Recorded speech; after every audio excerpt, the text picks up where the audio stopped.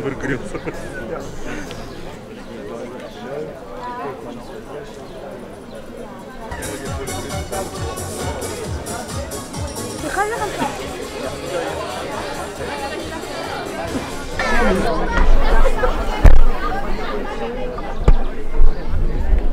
Wer macht den Ton an?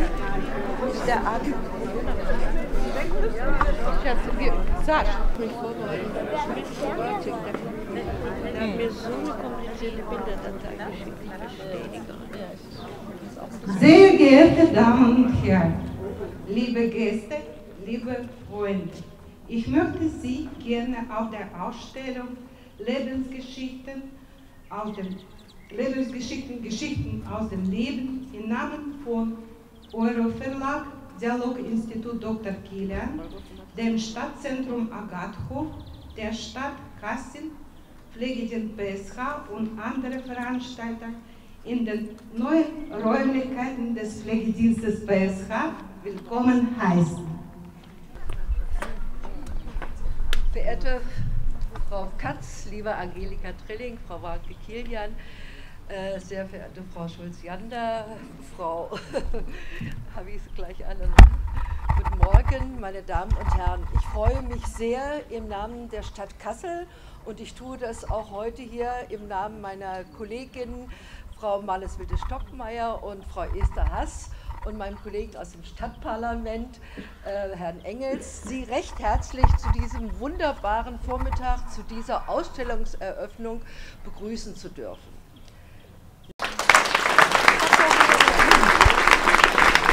Geschichten, Geschichten aus dem Leben.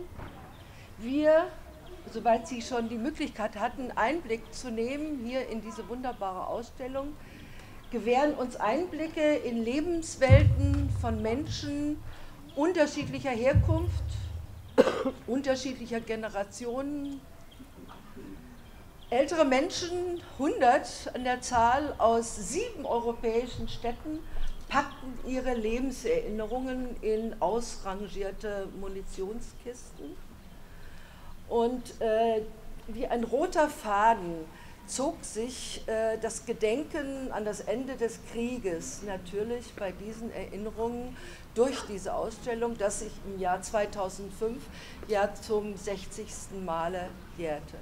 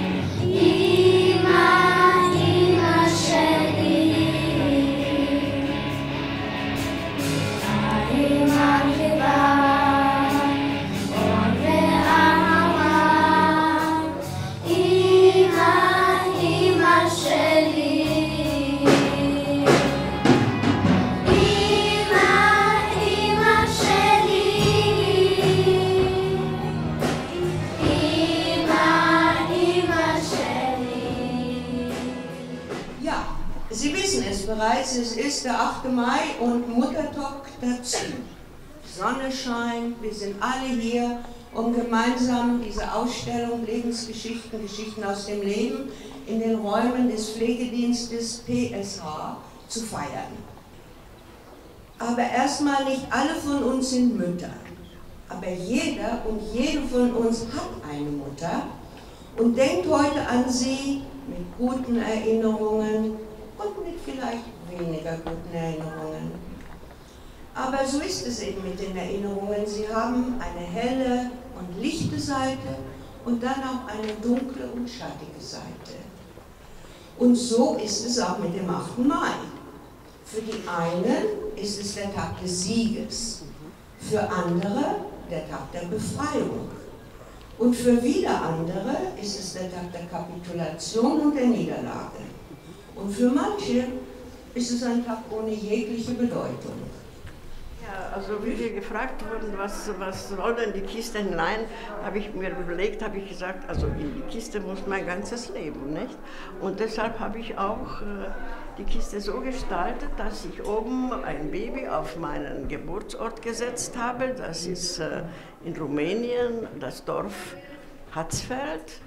Und äh, wie Sie sehen, auf der linken Seite ist ja meine Großeltern, da bin ich vier Jahre alt, da sitze ich auf einem Tisch mit der Puppe und da sind meine Eltern und meine Großeltern.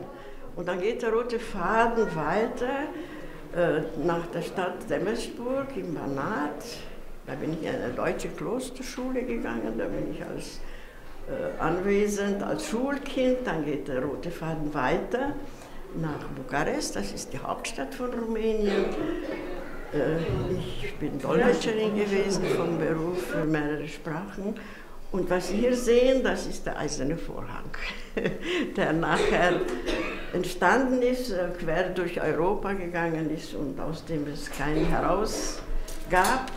Und irgendwann ist der eiserne Vorhang zerrissen. Wir wissen alle, das war 1989. Und dann geht es weiter nach Kassel und das war zur Eröffnung der Ausstellung 2005. Ja, und da gibt es noch diesen Spruch, Sie, bestimmen unser Leben und nennen es Politik, denn immer bestimmt die Politik das Leben der Menschen.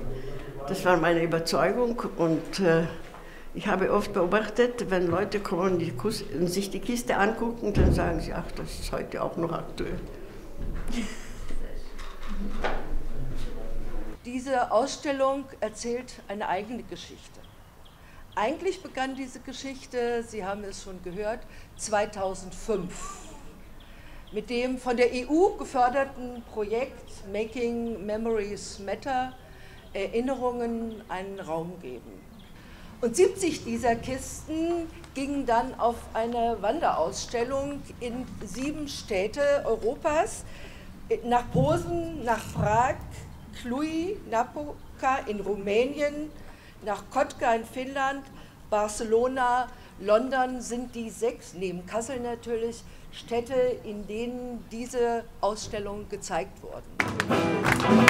Bei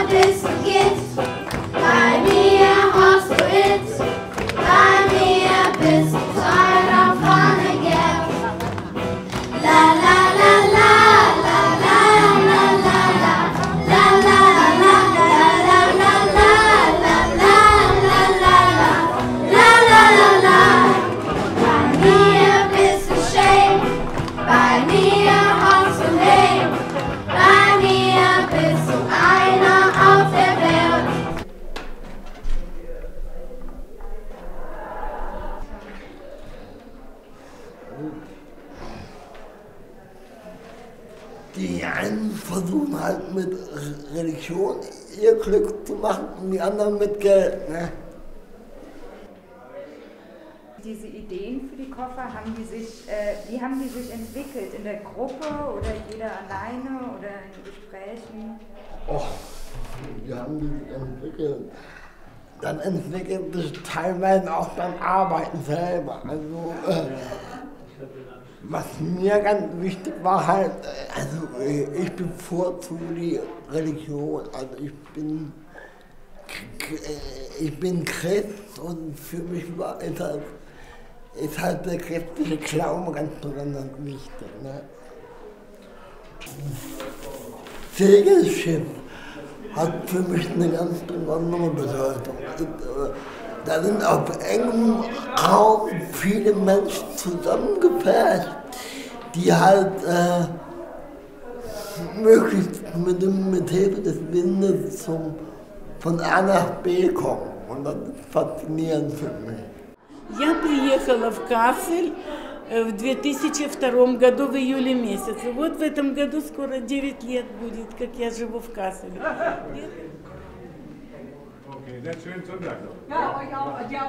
Был такой проект э, Ангелика Триллин.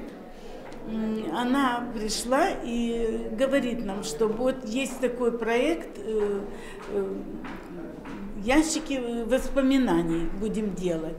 Ну что это-то мы сначала никто не понял, что это такое. Ну они рассказывают, что вот нужно делать вот воспоминания, вот как вы, какая вы были в детстве, какая вы в молодости, все.